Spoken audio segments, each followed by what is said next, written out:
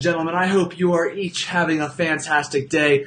Once again, I sincerely appreciate you taking a few minutes out of your busy evening to chat with me, to learn more about some specific nutrition strategies you can begin implementing instantly for the big return on your little two or three minute investment. So tonight, short and sweet, we're going to dive into the physiological reasons as to why I constantly recommend people to continue drinking more and more water or any other calorie free fluid when they report having a ravenous appetite. So let's get to it. You're feeling hungry. You're dieting.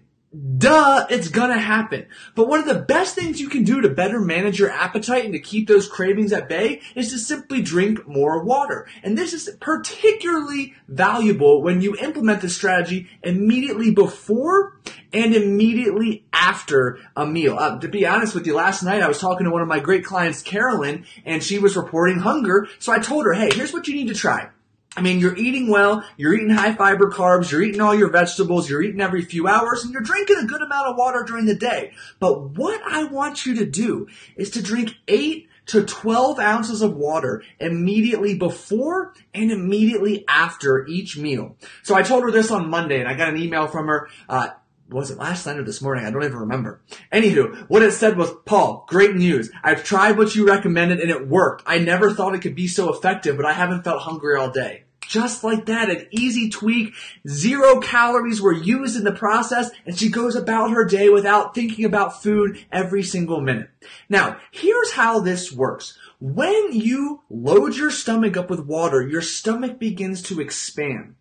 And in the stomach wall, the lining of your stomach, are nerve endings that are referred to as stretch receptors. And when your stomach begins to expand because you've filled it with an overwhelming amount of volume, these nerve endings or stretch receptors are stimulated. And when these nerve endings are stimulated, they literally send a signal to your brain to say, hey, put the fork down. I'm not hungry. We don't need anything else. We are completely at full capacity in the stomach region. Therefore, when you stretch your stomach, via an increase in fluids in a short amount of time, that signal, you know, as from the nerve ending stimulation is saying, hey, put the fork down. It is a satiety signal. So I know I just rambled there in a couple different directions, but let me make it real short, sweet, and concrete. You drink fluid. Your stomach expands. The nerve endings on your stomach wall are stimulated. They send satiety signals to your brain. Hey, put the fork down. Voila. Hunger disappears for the short term. So this is not as effective if you just drink a good amount of water during the day. It's effective when you drink a lot of water or any other calorie free fluid in a very short amount of time. And that's because the rapid entry of fluid into your stomach forces the stomach to expand. Therefore, you get the nerve ending stimulation and the subsequent signaling to your brain that you are no longer hungry.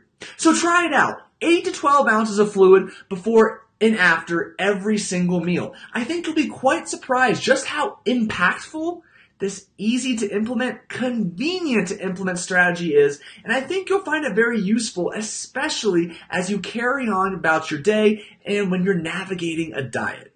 Questions, comments, concerns, let me know. Short and sweet this evening. Again, I appreciate you taking the four minutes. That's all it took for some valuable nutrition information this evening. Enjoy the rest of your week. Let me know if you have any questions by commenting below or sending me a direct message, and I'll chat with you soon.